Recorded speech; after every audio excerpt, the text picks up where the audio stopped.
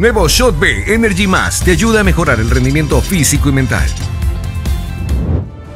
La Fiscalía pide prisión preventiva en contra del expresidente Lenín Moreno y de 35 personas más por supuestos sobornos en el caso Sinohidro. El ministro de Gobierno, Henry Cucalón, y el presidente de la Corte de Justicia, Iván Saquicela, se reúnen para formalizar diálogos sobre seguridad. La mafia albanesa operaría en Ecuador desde hace dos décadas, según un informe internacional el país se ha convertido en su principal punto para exportar droga a otros continentes.